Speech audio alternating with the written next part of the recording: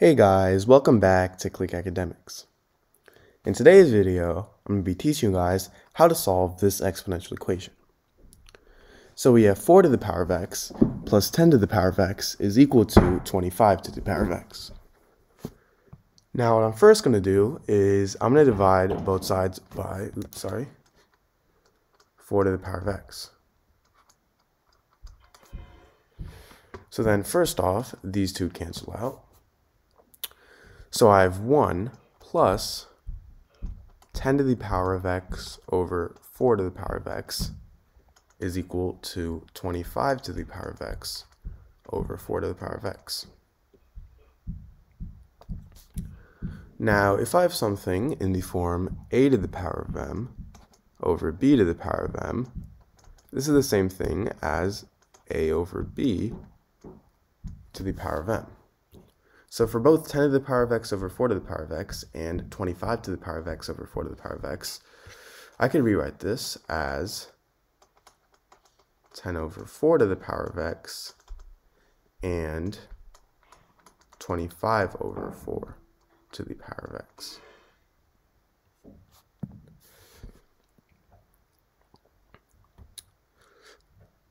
Now 10 over 4, this can be simplified to 5 over 2. And 25 over 4, this can be simplified to 25, this is 5 squared, and 4, this is 2 squared.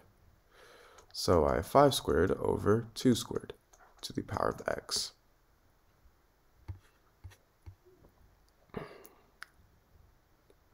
Now remember how I said if I have something in the form a to the power of n over a to, or sorry, over b to the power of m, this is equal to a over b to the power of m.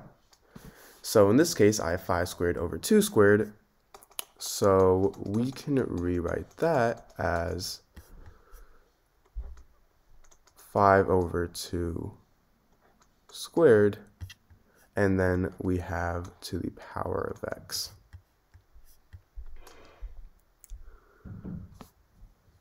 Now, if I have something in the form a to the power of m to the power of n, this is equal to a to the power of m times n. And for multiplication, the order doesn't matter, right? Meaning, a to the power of m to the power of n, this is also equal to a to the power of n to the power of m. So 5 over 2 to the power of 2 to the power of x we can rewrite that as 5 over 2 to the power of x to the power of 2. So we simply switch the order of 2 and x.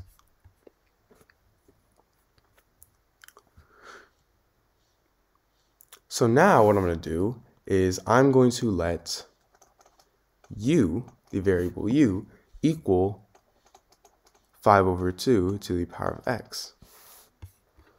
So now if I substitute in u for 5 over 2 to the power of x, I get 1 plus u is equal to u squared. Now I can subtract u and 1 on both sides, so then these two cancel out, and I would have u squared minus u minus 1 is equal to 0. Now I need to plug this in to the quadratic formula, which is, if you didn't already know, negative b plus or minus the square root of b squared minus 4ac all over 2a. So in this case, the coefficient in front of u squared is 1, this is negative 1, and this is negative 1. So a is equal to 1, b is equal to negative 1, and c is equal to negative 1. So now if I plug this in, I get negative, negative 1 plus or minus the square root of b squared is negative 1 squared minus 4 times a, which is 1, times c, which is negative 1. And I'm dividing this by 2 times a, which is 1. Now, if we simplify this, Negative, negative 1 is positive 1 plus or minus the square root of negative 1 squared is 1 minus 4 times 1 is 4. 4 times negative 1 is negative 4. All over 2 times 1 is 2. Now this is equal to 1 plus or minus the square root of 1 plus 4, which is 5 over 2. So this gives me two solutions. I have u is equal to 1 plus the square root of 5 over 2. And I have u is equal to 1 minus the square root of 5 over 2. So remember how we stated that u is equal to 5 over 2 to the power of x. So if u is equal to 5 over 2 to the power of x, and I already have two values of u. So let's first try 1 plus square root of 5 over 2 and see what we get. So I'm going to substitute in 5 over 2 to the power of x for u.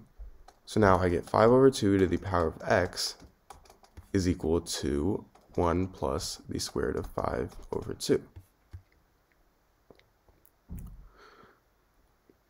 Now I can take the log on both sides, so I have log 5 over 2 to the power of x is equal to log 1 plus the square root of 5 over 2. So now if I have something in the form log a to the power of b, this is equal to, I can actually move this exponent b to the front. So I'll have b times log a. So log 5 over 2 to the power of x, I can move this exponent to the front. So this will get me to x times log 5 over 2. This is equal to log 1 plus the square root of 5 over 2. So now I, if I divide log 5 over 2 on both sides, these two cancel out, and I will be left with x is equal to log 1 plus the square root of 5 over 2 over log 5 over 2. Now, if I have something in the form log a over b, this is equal to log a minus log b. So log 5 over 2, this is equal to log 5 minus log 2.